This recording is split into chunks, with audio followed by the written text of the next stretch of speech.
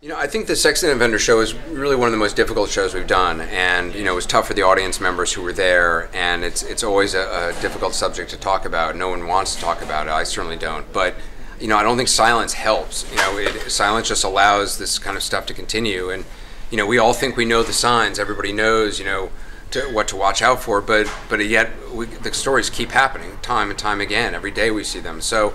I just think it's important to talk about it and to hear from from victims and survivors. But more importantly, I think it's just to you know to inform people and keep the, the conversation going because I do think even though it's not anything anybody wants to hear or talk about it, I do think it's important that that, that we pay attention to this in order to protect kids.